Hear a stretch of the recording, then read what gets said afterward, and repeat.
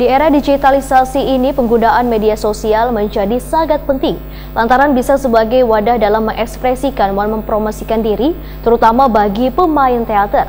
Namun juga harus dikemas dengan kreatif agar berkualitas. Menjadi seorang pemain teater atau aktor memiliki kepercayaan diri dan kemampuan teknis, serta pengetahuan atau wawasan yang ditunjang lewat proses kreatif.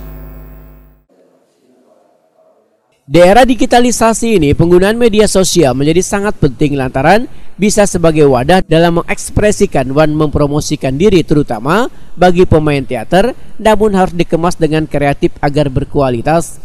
Demikian diperdakan aktor dan sutradara Rudi Karno dialog one workshop teater yang digelar UPTD Taman Budaya Kalimantan Selatan di Gedung Balai Rung Sari, Taman Budaya Kalimantan Selatan, Janasan Basri, Banjarmasin Utara, yang dilaksanakan selama tiga hari mulai 28 sampai dengan 30 Juli 2022. Menurut Rudi Karno, menjadi seorang pemain teater wan aktor memiliki kepercayaan diri wan kemampuan teknis serta pengetahuan atau wawasan yang ditunjang lewat proses kreatif sehingga perlu adanya olah tubuh, mengolah vokal, serta mengolah sukma. Sementara itu aktor wan dosen isi Yogyakarta Rukman Rosadi Takuni Prima TV medahkan seniman daerah harus lebih meningkatkan kualitasnya hingga mencapai titik yang lebih tinggi. Seniman di daerah pun bisa masuk ke dunia perfilman dengan cara mempromosikan diri dengan memanfaatkan media sosial.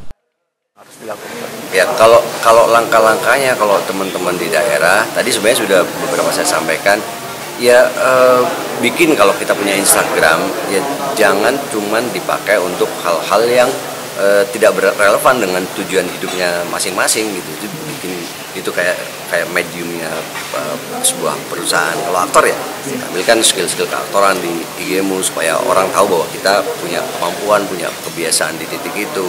Tapi yang harus juga terus dijalankan adalah proses belajar menuju capaian bahwa kita aktor atau uh, yang layak bersanding dengan siapa pun aktor di Indonesia.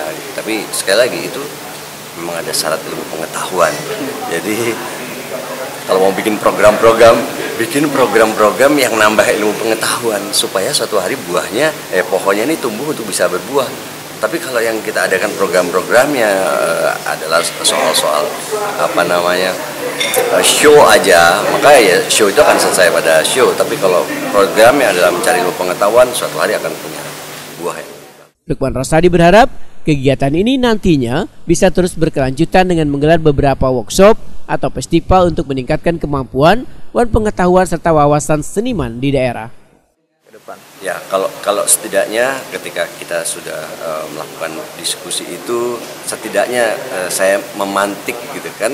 Tugas saya ngomporin aja ya, tugas saya ngomporin aja. Berikutnya ada uh, follow up follow up yang terjadi setelahnya. Misalnya uh, kalau mau ke film gimana caranya belajar dulu realisme. Nah mungkin next stepnya adalah mungkin bikin workshop realisme, bikin workshop acting realis, bikin festival realis gitu. Kemudian mulailah setelah itu baru uh, bikinlah film-film pendek dengan medium sederhana aja pakai handphone cobain bagian dari cerita sederhana bikin film pakai handphone.